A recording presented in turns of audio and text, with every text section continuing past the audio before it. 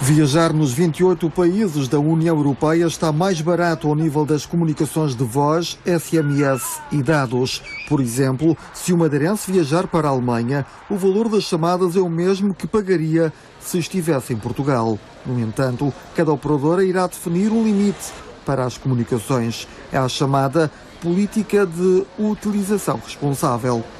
Digamos, isto ao fim e ao cabo vai ter a ver com, com minutos de voz, com, com, o número de SMS, com o número de, digamos, de downloads em, em, em dados, por exemplo, e, e, digamos, essas políticas que vão ser definidas caso a caso. Por isso nós alertamos sempre, logicamente, nesta situação, de quem viaja, se informar junto ao seu operador que políticas são essas, qual é o seu tarifário, digamos, se informar para onde vai, se existe alguma situação particular, porque, e isto é uma nota muito importante, nós, nós estamos a falar da Europa, quem for viajar agora, por exemplo, estamos a aproximar um período de férias, quem for viajar para o resto do mundo não se aplica nada disto, não é? As pessoas que não se deixem iludir por esta, questão do roaming, roaming gratuito e, e, vão, por exemplo, passar férias para o Brasil, e aí não há roaming gratuito, como é óbvio, isto é uma política da União Europeia,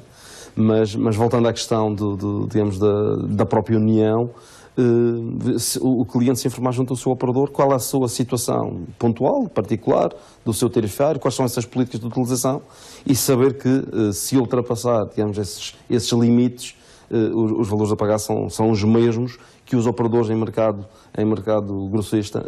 fazem entre si.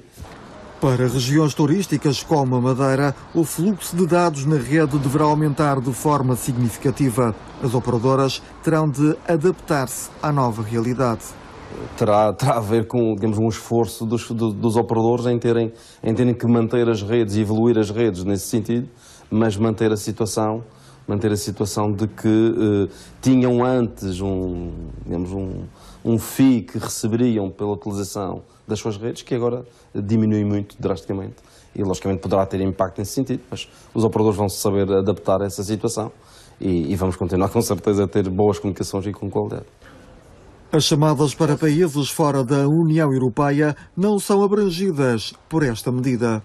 Um dos grandes problemas hoje em dia é que nós estamos habituados a andar no always on e sempre ligados e, e, e cá no nosso, na nossa realidade, no nosso operador, essa situação está, está está prevista, e quando vamos, por exemplo, para um país em que não está nesta situação como na União Europeia, o grande, acho que os grandes alertas será desligar as aplicações que, que consomem dados, muitas vezes sem percebermos que estão a ser consumidos, porque ela está sempre ligada e está a consumir dados, e, e ter, ter, ter, a atenção de saber exatamente o que, é que, o que é que irá ser cobrado nesse país para ter cuidado nas suas chamadas. Uh, aqui, por exemplo, alguém fará uma chamada de alguns minutos sem qualquer tipo de problema com o que vai pagar, e se estiver, por exemplo, no Brasil, ligado do Brasil para cá, não irá fazer a mesma chamada na mesma quantidade de minutos. Temos estas atenções muito simples, eh, de alguma atenção, de algum cuidado, faz com certeza reduzir as, as, as faturas de, de roaming. Mas pronto, já está, estamos a falar para, para o resto do mundo. Nesta questão, nesta questão da Europa, eh, é, é uma política, logicamente, de, de digamos, de união eh, e de livre circulação de, de pessoas.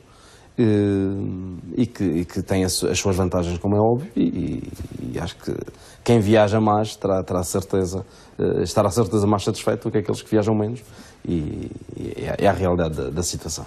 O fim do roaming já está a ser trabalhado pela Comissão Europeia há 10 anos. Os preços baixaram pela última vez em abril do ano passado. Agora deixam de ser cobrados valores extra pelas comunicações de voz, SMS e internet.